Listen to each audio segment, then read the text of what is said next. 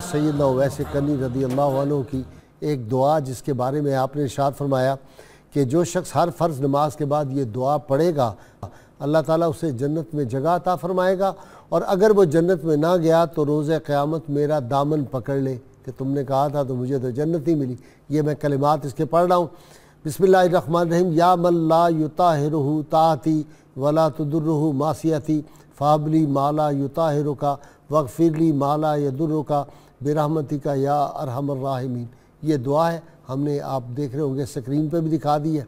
और इन ताला मैं कोशिश करूँगा ये प्रिंट करा के भी हम अपने नाजरन को पेश कर सकें।